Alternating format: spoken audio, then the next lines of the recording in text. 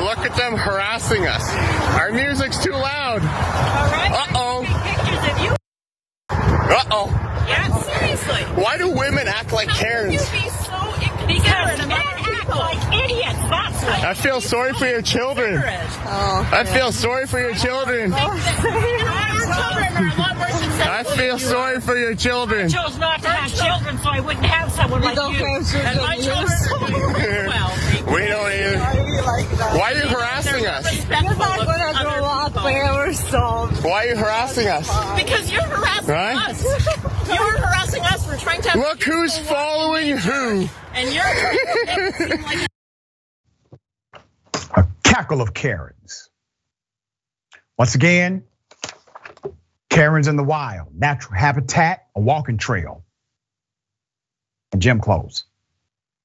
Uh, the young man, who is obviously a kid, was playing music. These particular Karens, as they were walking, said this is disturbing and harassing them, the playing of music. And so they proceeded to insult the individual, the kid, in front of them, rather than, once again, being an example of decent adult leadership.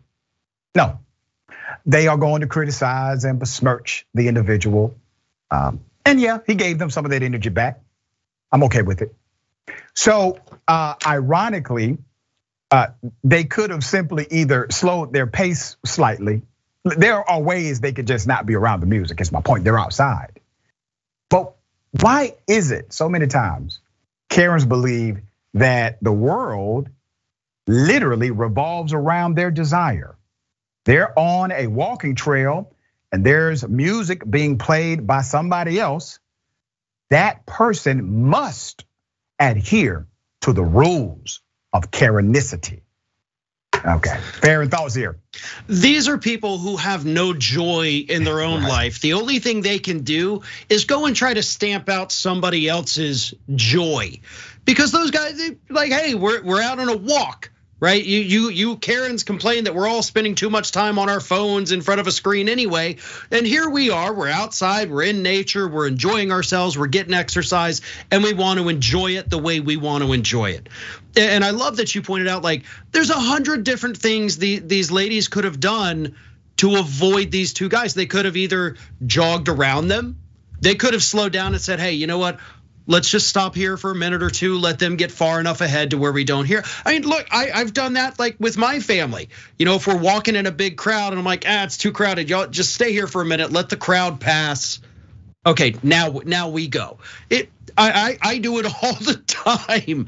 And you're also right about the fact that the world revolves around them. Everybody else is just an extra in the movie of their lives. And sometimes the extra is a little on screen too much, and you got to put them in their place. That's what these ladies think. Because again, all comes back to they have nothing inside. They're not happy. They're they're miserable, and they want everybody else to be as miserable as they are.